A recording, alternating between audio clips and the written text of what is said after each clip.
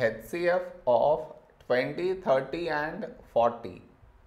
To find the HCF, for that we should do the prime factorization of each number separately. What I mean is 20, 30, 40.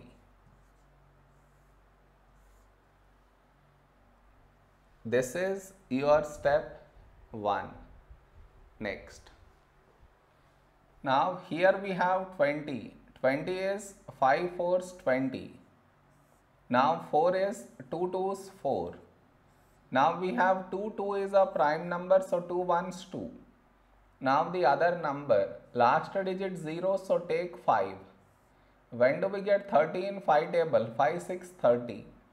Now 6 is 2 3 6.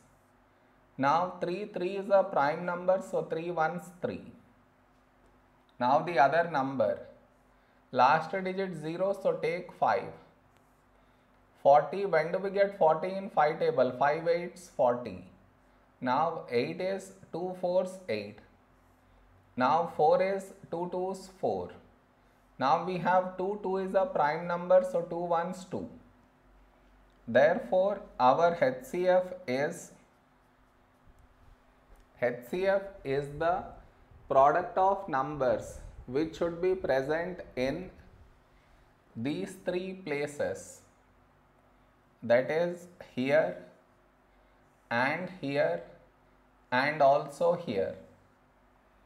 I repeat HCF is the product of numbers which should be present in these three places.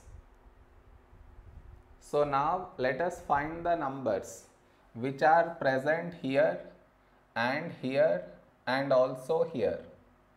Starting with the number 5. Do we have 5 here? Yes. Go to the other place. Do we have 5 here? Yes. So cut 5 and write here. Next number 2. Do we have 2 here? Yes. Go to the other place. Do we have 2 here? Yes. So cut 2 and write here.